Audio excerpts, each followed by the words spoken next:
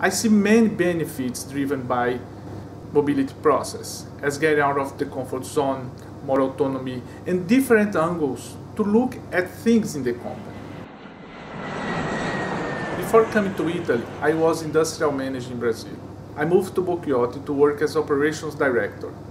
Coming to Italy was not a difficult decision, despite the big challenge for me and family, because this is a great opportunity in my career and for my family as well. There are many barriers for us in the beginning, as expected, but I was very welcomed by the colleagues in Italy as well by the teams from value chain, and this really surprised me.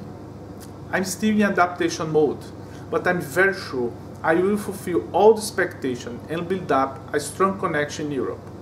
I'm very proud of being here.